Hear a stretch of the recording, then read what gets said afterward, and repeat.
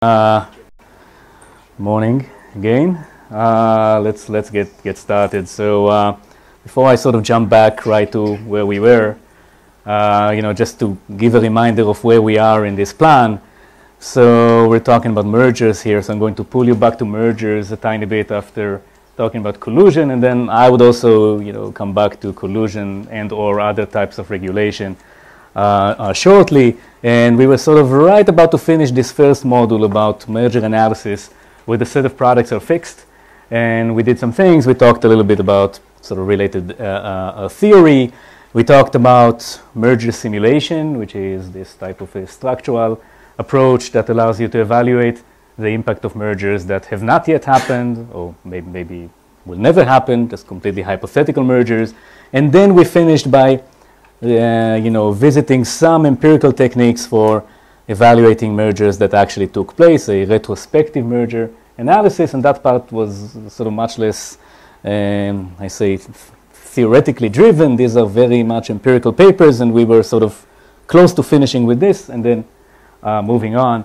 And so bef before I do move on, there actually uh, there's there's actually a nice point that came up in John's presentation that I wanted to connect with. So some of what we talked about was sort of the shifting landscape of regulation with respect to mergers over time in the US, and we mentioned that regulation with respect to mergers was sort of really strict in the 60s, in the 70s, and then there is some notion that maybe it is becoming uh, more uh, relaxed. It was kind of interesting to think about that when we saw the picture that shows that in the early 80s, a lot of the focus shifts to cartels.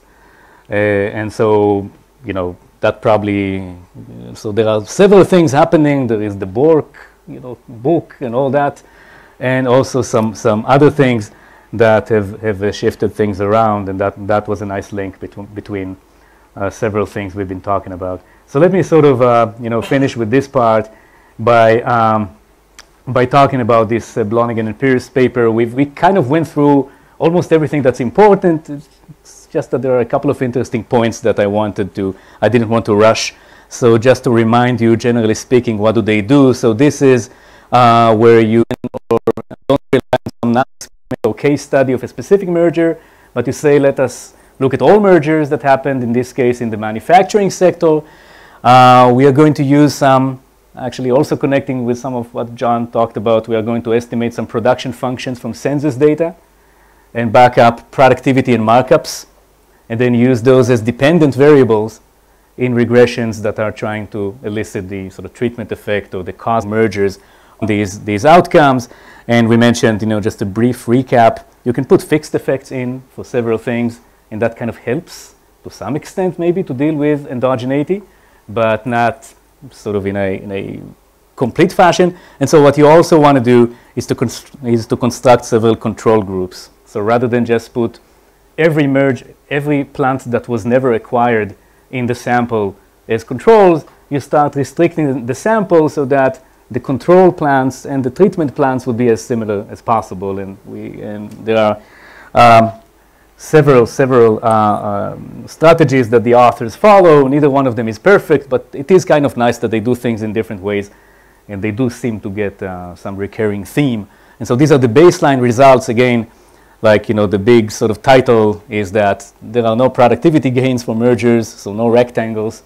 Uh, okay, but there are some some increases in, in markups, so you do have those you know triangles of dead weight loss. That that's kind of the message, um, or at least that's how the paper was accepted uh, outside academia, I think predominantly. But this is without any sort of adjustments to the control group. And then we mentioned well one way uh, to have a better control group perhaps is again to consider all the plants that were acquired, but for each of them we are going to match some plant that is supposed to be as well as close or as similar to the plant that was acquired, except that it wasn't.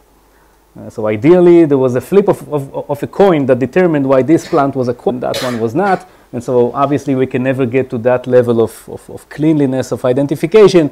Propensity score matching really matches sort of pairs of plants according to the ex ante probability that they would be acquired, but that probability is computed based on observed characteristics.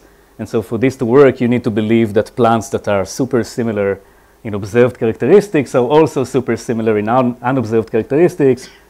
except that, of course, the concern is that there are unobservables shifting everything here. That is the endogeneity concern. Nevertheless, uh, you know, you do get some support for the result uh, again, not with the nearest neighbor, uh, well, to some extent with the nearest neighbor, but if you have three near nearest neighbors, then you get an even stronger result. Uh, and then I think a couple of sort of more interesting uh, ways of generating uh, control groups. So now they say, okay, let's only consider the, the, this first analysis here. They say, let us only consider plants that ever get acquired. Okay, so we are already sort of looking at a sample that is a little bit more, um, you know, homogeneous in that sense. But we are going to differentiate between mergers that already happened and mergers that will happen sort of in, in the next period. And we are going to examine performance in that first period. So the thought experiment is that all these plants were supposed to be acquired, but by a flip of a coin, some of them got acquired later. Uh, you know, like maybe the attorneys spilled some coffee on the documents and they had to print them again, and that caused some exogenous shift in the timing of the merger. And if that's really true, then the only difference between these plants is some is this uh, random timing of the merger. We can look at the earlier period, and then only the plants that already got acquired should be affected in terms of productivity and markup by the merger. And again, the, you know, the message is kind of similar, no productivity effect, but uh, an adverse effect on, on, uh, on consumers via higher uh, uh markups. Um, you know, you can sort of see why this is not a perfect strategy. It could be that, that it's not random why a certain plant was acquired today and another plant is acquired in the future. It could be that some of the benefits or some of the nice things that happen in that plant will only realize later. Or the other way around, maybe you actually acquire plants that are not doing so well. Either way, it could be that these things also shift over time, and that would undermine this strategy. But again, it's another way of trying to, uh, you know, to use the data in this way. Yeah, sorry. because the, the productivity, I mean, if they're merging, there's probably a period of time when things are up in the air and they're shifting things around. Yeah. Right. So actually, so here they are constrained by the fact that it's census data, so you only have it for like 97, 2002, 2007. You have it every five-year interval. Mm, yes, these are five-year intervals.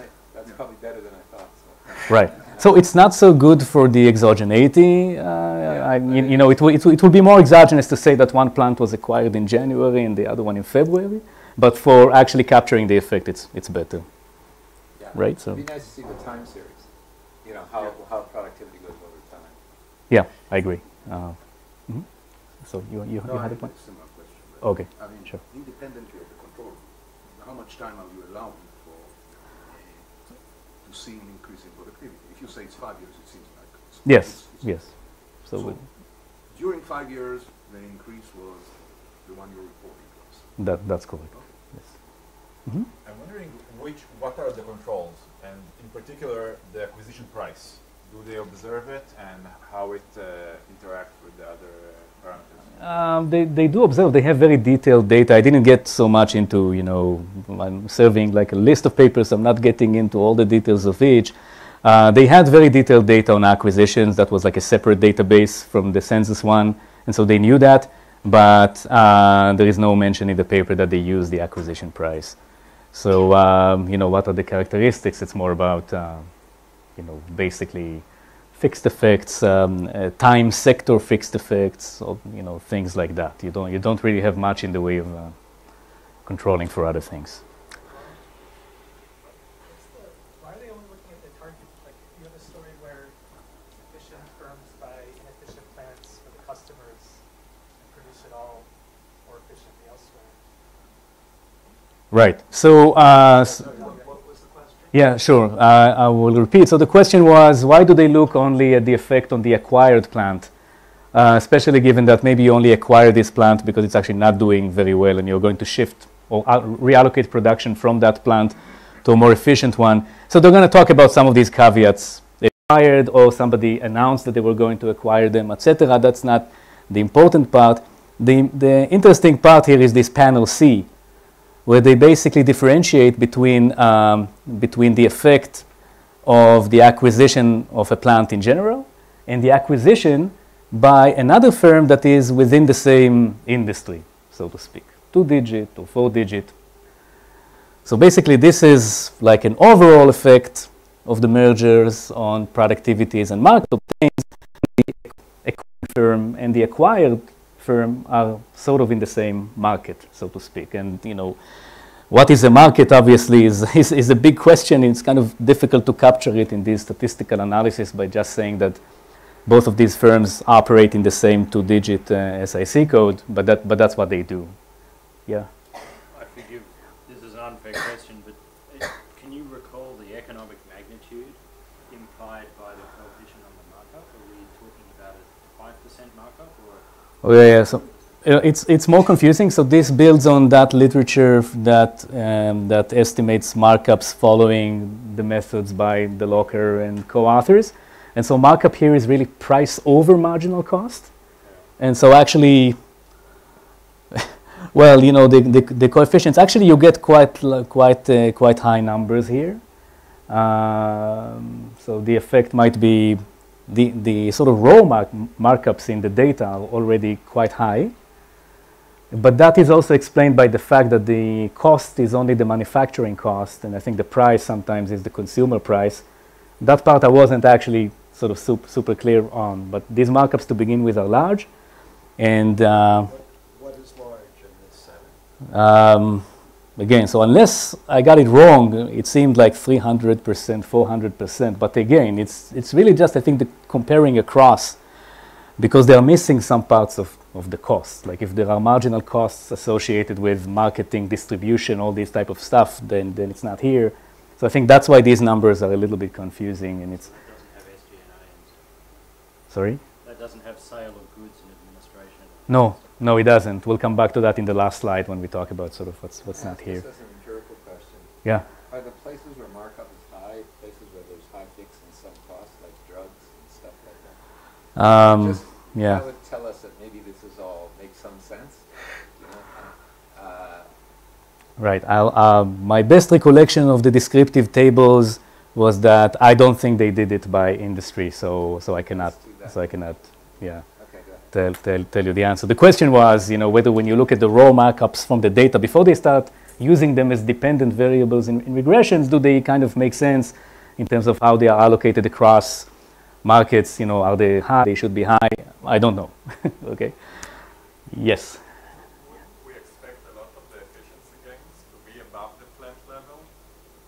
Absolutely yeah, Eh, exactly. So let me hold, you know, the very last slide will be all about that. And they will talk about that to, to some extent. So let me, let me get, get back to that issue. All right, the point here is that, okay, now with this, and now, now we see that, okay, the effect of mergers where the two parties are actually not competitors. So he, here you can think about these numbers as the effects of sort of non-horizontal mergers necessarily. These firms are not competing. They're not operating in the same two-digit industry. And then, uh, you know, the world starts to make sense again. Uh, you know, there is a productivity gain and there is no adverse effect on markups. Okay, so these are the good mergers. These are mergers between firms that are not competitors. The goal of the merger is not to restrict competition.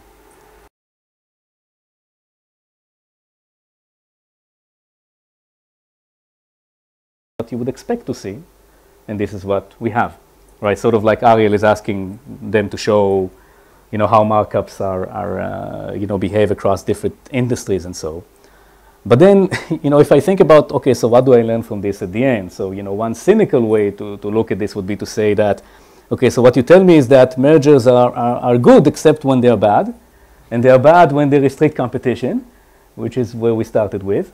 And, uh, and also when I think about that sort of very strong criticism by Bork, who made a very strong position that only mergers to monopoly or that create a dominant firm are bad, uh, you know, even that claim could potentially be, be consistent with this because I don't know within this set of, of mergers, maybe there is just a small set of really, really terrible mergers like the one we saw in, this, in the Swedish case, and they drive up all the effects. So I think to me this goes back to the question of you know, trade-offs in evaluating mergers empirically. Here we have a setup where you consider many mergers together Whereas we started with papers that look at one merger each, each time, sort of really paying attention to the institutional features, etc. And when you start lumping a lot, many mergers together, uh, you know, on, on the one hand, you get more generality, perhaps. There is less of a concern for external validity, but at the same time, you know, can I really pinpoint and see where the problems are?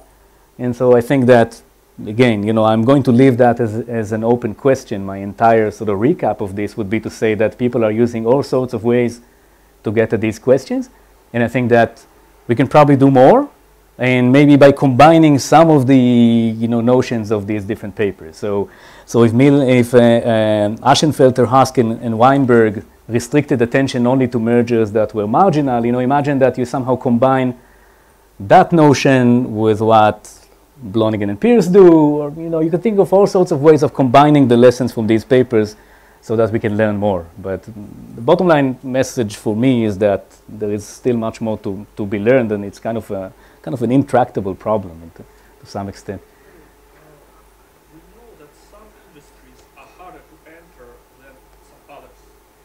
Can we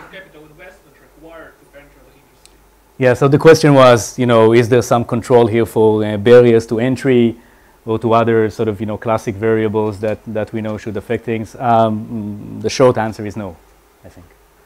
Uh, but that would be another way of, right, of, uh, you know, trying to get uh, deeper into the data and trying to see where the effects really are. And then really to kind of finish, um, you know, then the last section they say, okay, well, maybe we missed a bunch of things. Okay, so the bottom line is that, you know, not a whole lot of, of evidence for productivity effects, although, you know, we just saw that as long as the, as the firms are not direct competitors, you do see them. Um, but other sort of channels of efficiency gains that were simply not considered here? And so the quick answer is yes. Okay, so several of you have asked about it. What if the efficiency gain is not at the manufacturing level? Uh, what we back out here is the sort of productivity that is associated with manufacturing activities. And if there are other efficiencies, uh, for example, uh, it could be that the whole point of the merger is that we're actually not, you know, one firm has a good product and another firm has a good distribution system, and maybe that's the synergy that they want. Now I can take that product and bring it to customers more efficiently. That's not going to be captured here, and a bunch of other things wouldn't. But the authors are aware, aware of this, and they actually do quite a few things to try to rule out what they can rule out in terms of other stuff that were not covered.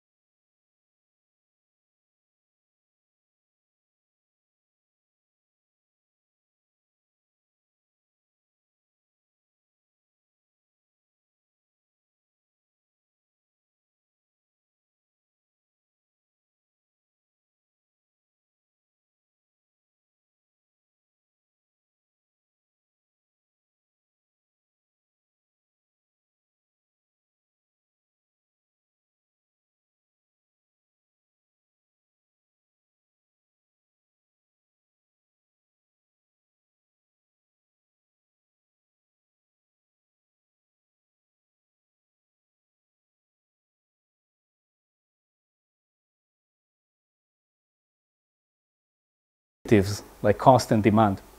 There are a couple of ways to think about it. So first, before you talk about mergers or collusion, sorry. I, I don't know. If the two firms meet together, they would simply just decide that one of them makes the reality show and there's no documentary show. Yes, I, I know. That's what today. Yes, so it's true. If they would meet, okay, one thing that they could do is this thing that I, that I propose. Which might be, by the way, if you just look at, I don't know how you measure the consumer welfare, Yeah. which might be, by the way, also the efficient. Um, okay, so the question was, you know, if they really met together, maybe they just decide that one of them just sits it out and the other one produces the reality show. And I think that's true. I think I can fix the example in a way that makes that, that, that feature goes away because I agree it's kind of a problem for the example. Uh, yeah, no, but I think if you make if you make the cost of making the uh, documentary, or if you assume that there are 300,000 people that want to watch the documentary rather than 100,000, then they actually do want to produce it, and then, then I think that, that does away with that. So I, I was thinking about doing that, but I was it was too late, and I was worried that I would screw up other things.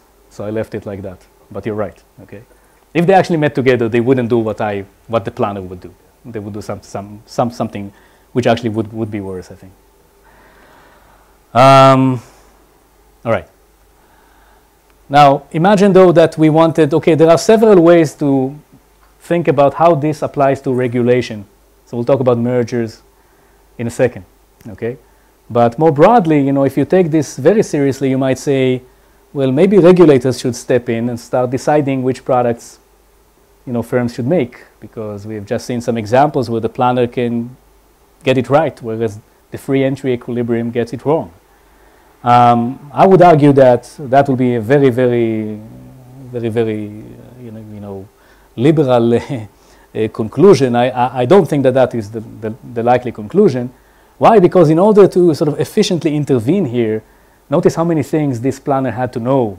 Okay, the planner really had to have a very good idea about cost and demand conditions, which you know probably you know firms might may, may have a better idea about cost and demand conditions than regulators, and these things might shift over time. So I would say that you know in terms of actually intervening to fix inefficient product selections, I would argue that you know you might want to do that only if you only if it becomes very clear that something is getting very wrong and you're willing to make a lot of mistakes to maybe make it somewhat better. But definitely not as a prescription that says, you know, let's just go out there and start estimating cost and demand and try to, you know, re-engineer all markets to decide which products should, should, should be sold on these markets. I think on the same point, uh, if uh, making a documentary would be uh, profitable, then a third competitor would enter and do it in addition to the two reality shows. So Okay, so yeah, so I think that part of what this literature tells us is that, you know, if you think in perfect competition terms, then sure, if there is some positive social benefit from entry in excess of the cost of entry, then it will happen. That happens in perfect competition. Yeah. The message of these theory papers is that once you go to oligopoly, once you go to market power, this is not guaranteed. Okay, I think that that's the sort of ba- basic point here. In, in perfect competition, everything works very nicely. All right, so we did, you know, so some papers that actually take this seriously in media markets, uh, Berry and Waldfogel 99, and then some follow-up that I was involved in. So this looks at local radio markets, and the concern there that was expressed already back in the 50s was that there is excessive, excessive entry into local radio markets, that there are just too many radio stations, and they produce very similar content while duplicating fixed costs.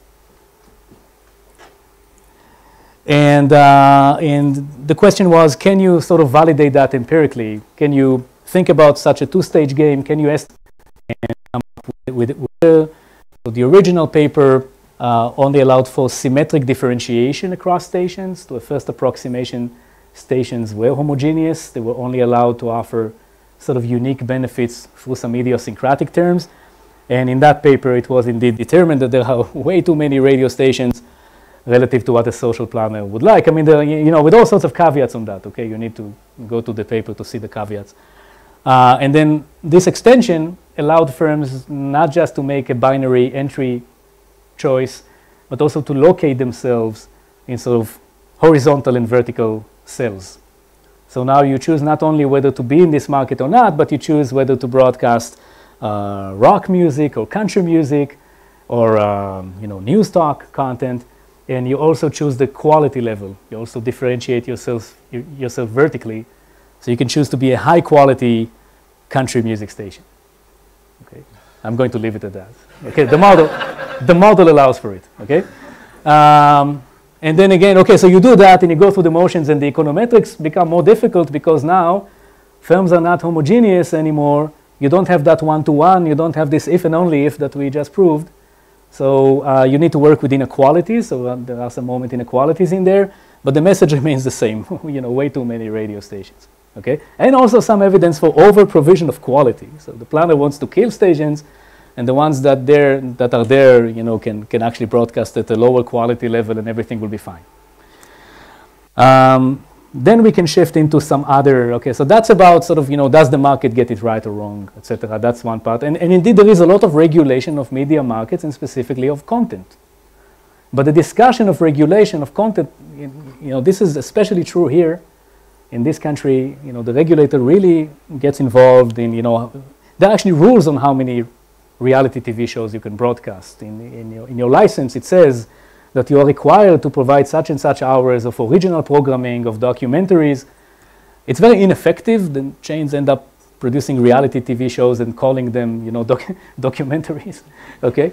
But there is some sense in which, uh, so the, the regulator wants to do that, but when you see the documents in which the regulators talk about it, they always say, yeah, you need, we need more variety because it's good. They never say we need more variety because the free entry equilibrium could be getting it wrong, which is not surprising, okay, that they haven't read those papers. That's fine. Um, okay, now moving on to other types of regulation, what about mergers? Okay, so now we want to go back to our point Okay, so now imagine that we want to do a merger simulation, but we want to allow product choices to adjust as well. And so a couple of papers to mention in that uh, respect that I know of. So the Draganska Mazzeo Seim paper in the um, quantitative marketing and economics. I'm going to talk about that one. Uh, and, and a more recent uh, paper by Fan and, and Yang on uh, cell on uh, smartphones. Um, what about the impact of other changes to the sort of you know, competitive landscape. So there is my paper on what happens when there is upstream innovation. So when the inputs that you can put into your product become better, how does that affect the sort of vertical variety of the products that you decide to offer to consumers? How does the portfolio of options that you choose to offer to your consumers change? This is with respect to the personal computer market. So as the quality of the CPUs increases, as the frontier of what Intel offers you shifts outward, what kind of variety do you offer? Do you only offer sort of very high quality chips so that everybody has to upgrade and buy, um, you know, really expensive machines? Or do you offer more sort of mid-range or low-end uh, possibilities? And do you possibly get it wrong from a social perspective? Uh, how does innovation affect different types of consumers? These are the type of questions that come up in that paper. Um, you know, I may or may not uh, uh talk about it depending on trade-offs with other stuff I want to talk about. Uh, and then there is a recent, this, this, this should be AER 2018, this is kind of new, um, government bailout. So here we look at the automobile industry, specifically at the, at, at the trucks. And we look at that very famous episode close to a decade ago when the government bailed out General Motors, right? Okay. And Chrysler, right? Both of them, yeah. Um, and the question is, you know, we can actually write down a structural model and then use it to do the counterfactual. What, what were to happen if GM and Chrysler were to go under? And the interesting comparison is this. In that structural model, when only prices are allowed to shift, then all you get is that a bunch of trucks are removed from the market and you know, output goes down, consumers get hurt quite badly, employment goes down, you know, you produce fewer trucks and all that. So that seems like you know, a message in favor of the bailout if if you want to read it like that. But then when you allow within the model, when you allow firms to also adjust their product offerings, what happens is that the remaining players like Ford simply pick up the slack. Okay, now, okay, GM is no longer there. I'm going to make many, many more different types of trucks now. And that seems to sort of do away with many of these negative effects of the demise of the competitors. So the message is that you know even something like the bailout, which received huge, huge attention, and it's also you know a type of government regulation, if you like, or at least government intervention, you can get very different you know, conclusions depending on whether you allow product assortment to change along with prices or not. Yes, all these papers are kind of about that. All right, so what I'll do in the remainder, I'll, I'll uh, sort of set up the stage for, uh, for some, some of these. What are some of the challenges that come up? I mentioned some of these. As you try to write down and estimate a structural model in which all of these things are endogenously determined. So first of all, there is this complex relationship between the nature of the sort of second stage competition and the number and identity of products that enter. So just to give a very sort of you know stark example, imagine that as we get to the second stage, we don't play Cournot like in that example we saw. Imagine that you play Bertrand. So you, you, you kill each other. You price at marginal cost. So then vari variable profits become zero with constant marginal costs. And then, uh, you, and then if fixed costs are positive, you actually cannot support any equilibrium with more than one firm. So with, with very stiff competition in the second stage, actually leads to a monopolized market when you consider the subgame perfect Nash equilibrium. So the relationship here, the notion that I can somehow, you, you, know, there is very useful information in this because if I can actually identify the conduct of that second stage competition, it would actually give me some clues about the entry game and about costs.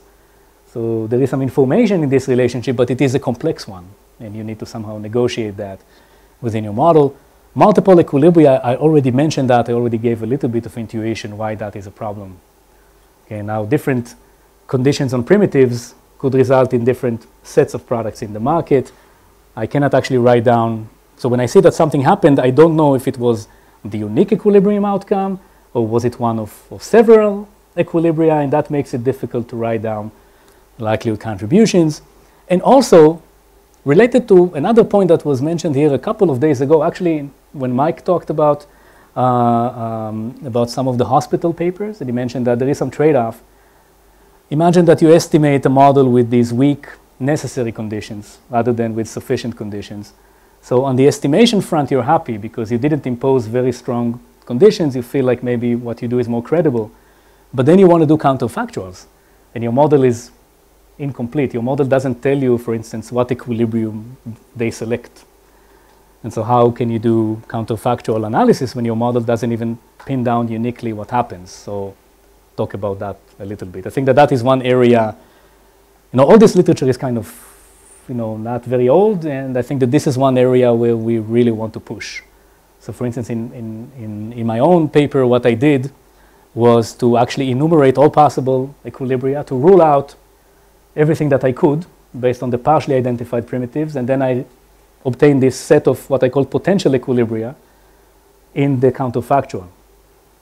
So I didn't have a unique counterfactual prediction. I said in the counterfactual, any number of these things could happen. But that allowed me to bound what will happen in the counterfactual in terms of welfare. That's often quite difficult to do computationally. And then some other papers quite often pick some ad hoc way of selecting the equilibrium. Sometimes it's really ad hoc, sometimes it's actually very well developed.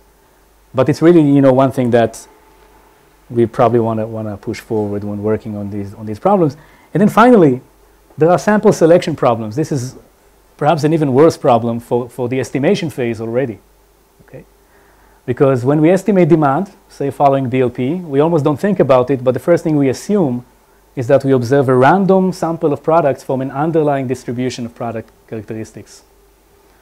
But if my model now explicitly says that there was a first stage in which those products were selected by firms, it's making it a bit embarrassing to claim that it is a random sample of products. Firms have selected these products, and if they did that observing some random shocks that I didn't, then selection is on unobservables, and that could generate biases in the estimation of utility parameters that are very much akin to the type of selection bias problems that you see in the labor economics literature. You know, what, what happens when if you don't work, I don't see your salary, that type of stuff. If a product was not introduced, I don't see what type of demand it would have garnered. And um, this is, but econometrically, this problem is worse because in the labor economics literature, you have all these independent units, all these individuals, and they don't play a game. so each one of them responds to their own shock. But here it's a game. So my product selection choices may depend on my errors and on the errors of all the others in a very complicated fashion, and also in a, in a manner that is not uniquely pinned down in equilibrium. So what do you do with all this? Okay? Yes? About this point, um, I have this thought that it's maybe completely wrong, that if you do this, uh, you estimate the cross elasticities on uh, using uh, this BLP system with the characteristics, then if, you have products in this, you create a grid of cross elasticities in which some products might be missing. So you could make, you could create a counterfactual. What happens if a product is introduced that has those characteristics? Okay, so that's that's great, except that you can do that when you do that, when you think about that hypothetical product that was never introduced. Yeah. The one thing that is that is problematic is that you don't know what the utility shock for that product would have been. You can, in that counterfactual, you can say, yes, what if I had this truck with this, you know, engine size and all that, but you don't know, you know, that psi in these models that tells you the valuation of unobserved characteristics like design or all that. You just don't know. This product was never introduced. Maybe it would have been an ugly truck that nobody wants. Right. Okay, so, and, and it is the observables that drive the problem and not selection on observables. So that's fundamentally the issue. Uh, I don't really have much time left. I'm going to talk about, um, so I'm going to start a tiny bit setting up for the ice cream paper by Drag- Draganska, Mazzeo, and Seim. Um, okay, so the plan is to look at two such papers that have the following features. So this paper and my computer paper. Both of them have the features that there is a product portfolio problem. I need to choose a portfolio of products to offer to consumers from some feasible menu. Uh, we're going to specify a structural model for demand and marginal costs. That would allow us to estimate that second stage, so to speak, variable profit function. I can come up with elasticities, markups. I can actually figure out how different first stage choices of which products to have in the market map into different variable profit outcomes in the second stage. And then I use these first stage inequalities, if you wish. Okay, in the computer paper it will be inequalities. In the ice cream paper it will be equalities. I will, I will explain why. But you would use that condition, that free entry condition that says that you know, whoever entered is happy and whoever didn't enter is also happy. You would use these conditions to estimate the fixed costs of introducing additional varieties. And so this is what you want. You want to know how consumers respond to varieties. Specifically, you want to estimate to what extent do consumers value variety. For this, you really want a random coefficient demand model because that allows you to evaluate heterogeneity in consumer preferences. You know, how many product variants does the firm or the planner wants to offer, that would crucially depend on the demand of consumers for variety, the extent to which they are different from one another. And of course, you want to learn about fixed costs because that will be both the private and the social cost of introducing additional variety. So you want to estimate all these things. That's the hard part or one, one of the difficult parts. All right, so a couple of papers. The main difference between these papers, so in the ice cream paper, uh, the firm chooses a set of horizontally differentiated product variants, different vanilla flavors of ice creams. And at the end, in, we are going to have some merger analysis. They are going to simulate a hypothetical merger to figure out what happens to prices and to uh, product variety. And it's not just uh, you know a hypothetical exercise.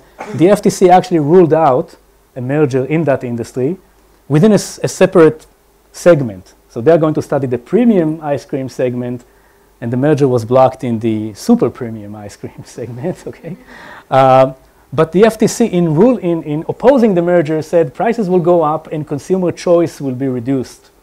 So the FTC explicitly said we think product variety will be diminished by the merger. So what these authors are trying to do is to figure out in simulation for, for a hypothetical merger whether we see that because theoretically we don't know. It could be that you actually get more variety after the merger. And it depends in very intricate ways on, on the primitives. You can see that, I mean, it relates to the basic questions about investment. R&D. You know, maybe when I have more market power, I can recoup investment. I might actually invest more. I might develop more products. I mean, who, who knows? Okay, it's, it's complicated. Uh, in terms of the econometric choice here, so how do you deal with, uh, sele with selection, multiple equilibria? Here you assume that shocks to fixed costs are private information. So you're going to have this Bayesian Nash equilibrium, and that's going to be unique. In simple examples, uh, exactly unique. In more complicated examples, practically unique. That would enable them to get over these multiple equilibria problems in estimating the model.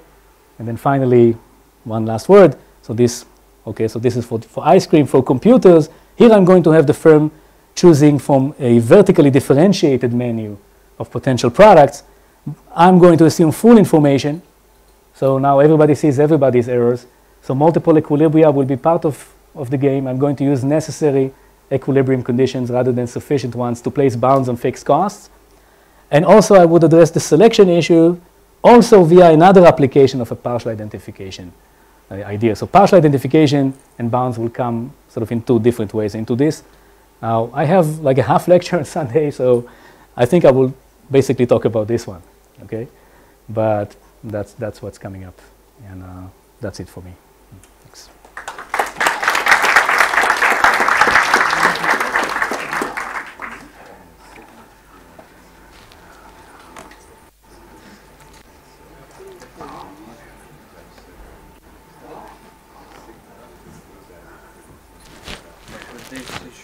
With